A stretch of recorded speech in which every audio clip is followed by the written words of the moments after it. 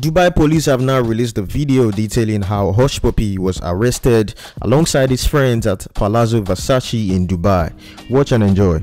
A team of highly trained Dubai police officers were able to confirm the gang's whereabouts and fraudulent activities.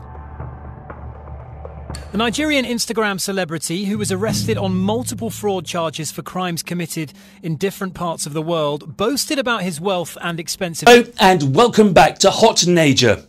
Please stay tuned and subscribe.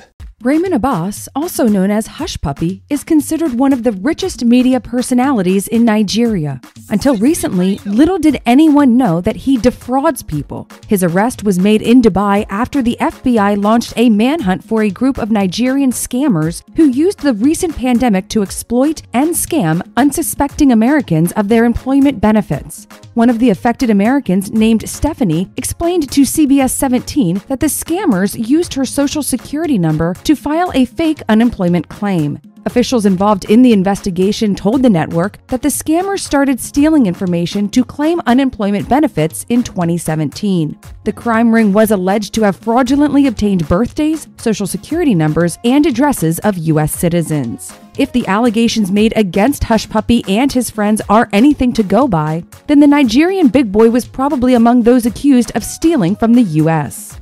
Hushpuppi and his gang used a scheme called business email compromise, a form of cybercrime which uses emails to attack commercial and government organizations to achieve a specific outcome which negatively impacts the target organization. As if that was not enough, the Nigerian gang used fake robocalls to trick people into providing their personal information, and this led to a lot of false unemployment benefit claims in states like Rhode Island, North Carolina, and Massachusetts. Even after Hushpuppi's arrest, investigators said that a majority of his accomplices are still in Nigeria. The Secret Service and the FBI then vowed to prosecute those involved, and Hushpuppi, including his friends, were arrested at Palazzo Versace in a joint operation led by the Emirati police in Dubai. Reports by several media outlets claim that Hush was immediately extradited to the United States for trial. Meanwhile, Nigeria and the U.S. launched the battle for the possession of Hushpuppi following his arrest and detention by Emirati authorities, according to officials who spoke to Premium Times.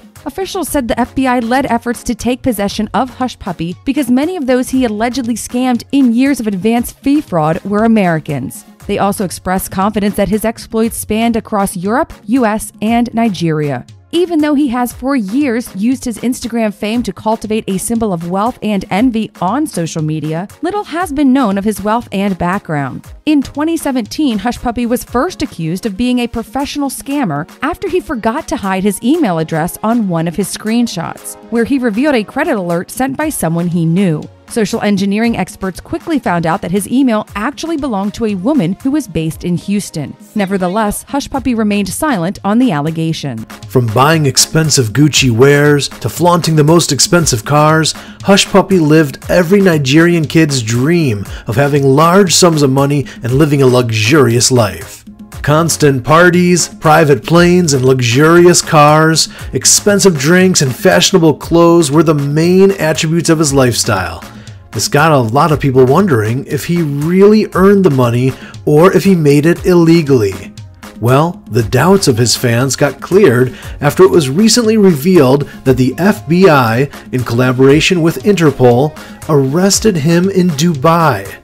On May 19, 2020, a video from CBS Evening News reported the story of how the United States Secret Service was investigating a multi million dollar fraud scheme led by a criminal organization with ties to Nigeria.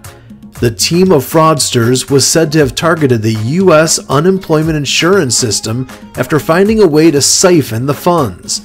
Also, on June 10, 2019, Fox News reported that a Nigerian crime ring was being investigated for diverting funds money that was supposed to go to unemployed Americans could be in the hands of scammers. According to the website Crevson Security, the Secret Service apparently warning states all over the country that a Nigerian crime ring is exploiting this pandemic and committing fraud against several states, their unemployment insurance programs. According to that same website, the potential losses are somewhere in the hundreds of millions of dollars. The crime ring was later linked to Hushpuppi and his gang members after photos and videos posted by witnesses showed that he was arrested for scamming the US.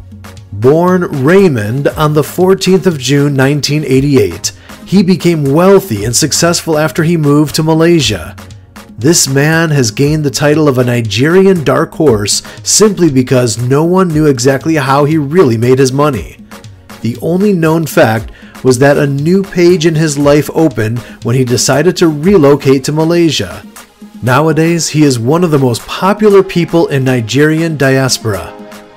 Hushpuppi's Instagram is filled with fancy photos where he shows his not so ordinary way of life, including pictures of himself in different five star hotels, elite clubs for celebrities, and clothes by the most fashionable brands like Gucci. Hushpuppi is a big fan of this brand, and it is believed that he is one of their VIP clients. His flamboyant way of life definitely made him popular among Nigerians. While some loved him, some hated his way of life. All the same, everyone admired him for living his dream and being able to make so much money in such a short period of time. Due to the fact that he never revealed how he gets his money, a vast majority of his followers, including celebrities, felt that his wealth definitely came from fraudulent acts on the internet.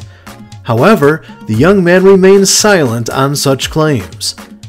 Before his arrest, little was known about his source of wealth and background. He never opened up about his fortune, but he would always claim he went from rags to riches. In fact, it got so serious that some speculated that he invested his money into a profitable business which started booming. Nevertheless, the only thing that mattered was that he was extremely rich, and he never hesitated to show off his luxury on his social media. Days after his rival Mompha got arrested for the same crime, Hushpuppi changed his Instagram bio from billionaire Gucci master to real estate developer. This was one of the tricks he used to hide his fraudulent tactics. Of course, Hushpuppi's quick and sudden success did not go unnoticed. Some celebrities openly criticized Hushpuppi for posting so many photos of his luxuries without revealing his income source. For instance, Fino called him out in 2017 after he seemingly threw a shade at a rapper. Ice Prince said that unlike him, Ray Hushpuppi does not represent Nigeria, but the Gucci brand alone. Furthermore, Casey questioned the millionaire's source of income and added that he needed to be honest about how he made money, pointing out that many people in the music industry had to work hard to make their fortune, while Hushpuppi's income was really questionable.